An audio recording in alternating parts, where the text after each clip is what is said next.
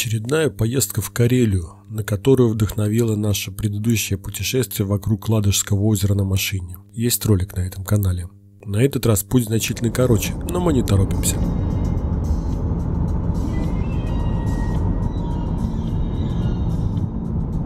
Первый день установка в Лосево, в центральной части финской Кивиниеми до 48 года, что в переводе «каменный мыс». В поселке множество баз отдыха и загородных клубов, Особенно радуют гипсовые пионеры с горными.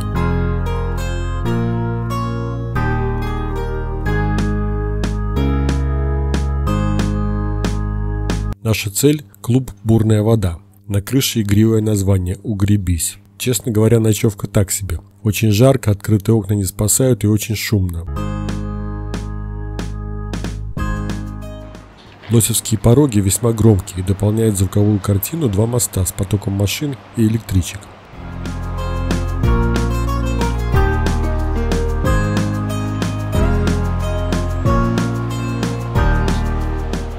Центральная часть поселка довольно милая. В мини-парке с различными шуточными инсталляциями в виде метеостанции из висящего кирпича, дома с привидениями, пупа земли и прочего. Несколько кафе с видом на пороге делают вечер приятным.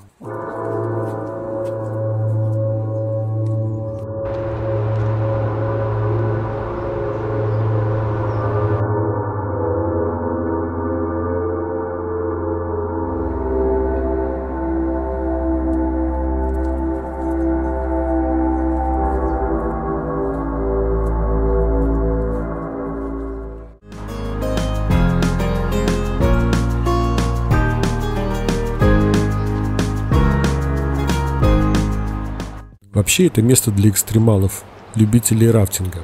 Если пройти по берегу Волксы, вскоре наступает почти идиллическая тишина, если ее не прервет шумный отдыхающий, коих немало на берегу.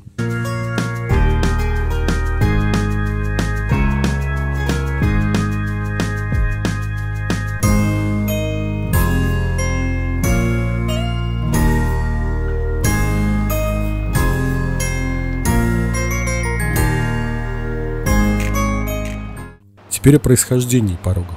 В целях развития судоходства в 1741 году было принято решение прорыть от, до Ладоги канал, точнее соединить бывшее Суванто, ныне Суходольское озеро, с Воксой. К реализации проекта приступили уже после смерти Петра I. Однако даже при помощи армии построить канал не удалось. Оставалось прорыть чуть более полусотни метров, как разразилась очередная русско-шведская война. В 1818 году реализовывать грандиозный проект помогла природа. Из-за таяния снега и обильных осадков вода в озерах сильно поднялась. Мощный поток прорвал тонкую перемычку и устремился в Ладгу. Вода тащила за собой огромные валуны и мгновенно размыла берега. Уже через неделю недостроенный канал превратился в широкую долину. Если раньше вода перетекала по протоке из Суходольского озера в Оксу, то теперь поток повернул вспять. Вместе с этим уровень воды в озерах упал сразу на 7,5 метров. Протока сразу обмелела и водная связь между озерами прервалась. Только в 1857 году ее расчистили не очень удачным взрывом. Поскольку на дне оставались огромные валуны и куски взорванной породы, вода вокруг них забурлила и закрутилась водоворотами. Так родились лосевские пороги.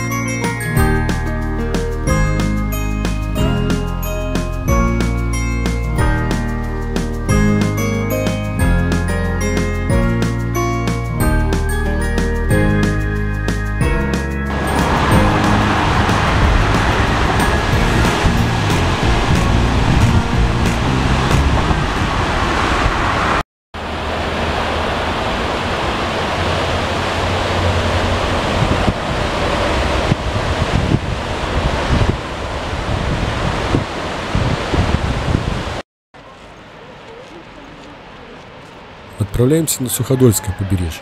Путь проходит под автомобильным мостом. Вдоль берега проходит и ЖД ветка до станции Лосева. Лосевские пороги считаются самыми крупными среди искусственных порогов Европы. Их длина составляет 800 метров, ширина около 7 метров, перепад 2,5. В самом начале глубина порога совсем небольшая, не более 2 метров. Под автомобильным мостом она увеличится до 4, а вот под железнодорожным уже достигает 17.